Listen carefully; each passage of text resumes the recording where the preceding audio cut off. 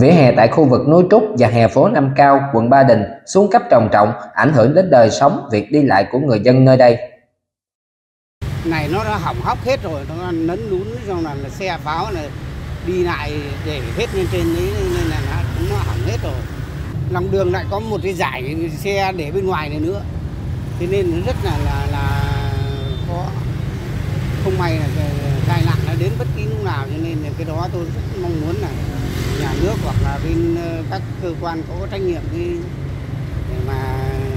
chỉnh đốn lại cho nó có lối đi lại cho chúng tôi đi bộ chúng tôi đi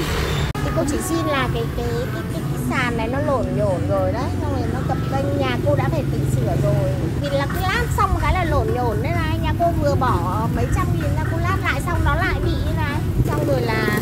à, đi lại nó khó ấy. đây này xong mọi người cứ đi lót vào cái thứ gì hè thì là xin là được lát lại sàn này để người dân đi lại cho nó tốt